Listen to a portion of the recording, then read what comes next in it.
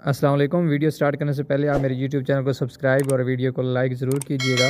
इस वीडियो के अंदर जो है मैं आपको टमाटर की काश्त करने के दो तरीके बताऊँगा। पहला तरीका जो है वो आपने थ्रू आ टनल फ़ार्मिंग करनी है, जिसके ज़रिए जो है आप अपने टमाटर की जो काश्त है वो आपने एक बेड बनाना है, खिली बनानी है। खिली बनाने के बाद जो है उसके ऊपर शापर आपने डाल देना है। शापर डालने के बाद जो है आपने उसके अंदर छोटे छोटे जो है वो पेंचर करके उसके अंदर जो पनीरी है, टमाटर की, वो आपने लगा देनी है, जो कि जैसा कि आपको इस वीडियो के अंदर दिखाया जा रहा है। और जो दूसरा तरीका है, वो लोकल तरीका है, आम तरीका है, जिसमें आपने जो है वो सिंपल बेड बनाना है।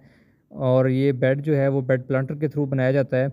दोनों तरीक़ों के अंदर जो है वो बेड प्लांटर का इस्तेमाल किया जाता है, जिसकी मदद से आपने बेड बनाना है बेड प्लांटर का जो इस्तेमाल है उससे जो है आपकी खेली बन जाएगी और जो है वो बेड तैयार हो जाएगा। और उस बेड के अंदर जो है आप अगर यानी कि देसी तरीके से अगर काश्त करते हैं, लोकल तरीके से काश्त करने हैं तो उसके अंदर जो है बेड के ऊपर ही आपने टमाटर की जो पनीरी है, वो आपने लगा देनी है।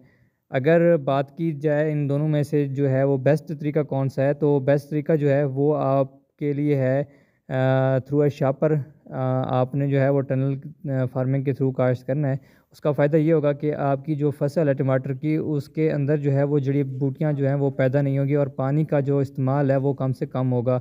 आपका जो पानी है वो ज़ाया नहीं होगा और जड़ी बूटियाँ जो है वो नहीं निकलेंगी। अगर आप लोकल तरीके से काश्त करते हैं, जस्ट आपने जो है वो बेड प्लांटर से जो है वो बेड बनाया और ऊपर टमाटर की पनीर लगा दी है तो इस तरीके से जो है आपकी जो फ़सल है वो इतनी ज़्यादा अच्छी नहीं होगी। उसकी वजह यह है कि आपको अपने टमाटर की फ़सल की जो गोडी है वो बार बार करनी पड़ेगी और जड़ी बूटियों को बार बार तलफ़ करना पड़ेगा और इससे जो पानी का इस्तेमाल है वो भी आपका ज़्यादा होगा क्योंकि अब इस टाइम जो है पाकिस्तान की अगर अगर बात की जाए तो जो डीज़ल की कीमत है वो आसमान को छू रही है तो इसलिए बेहतर है कि आप जो है वो अगर काश्त करना चाहते हैं टमाटर की फ़सल तो थ्रू अ टनल यानी कि शापर के ऊपर आप काश्त करें, टमाटर की शापर के ऊपर पंचर लगाएँ और जो है वो पनीरी आप काश्त करें।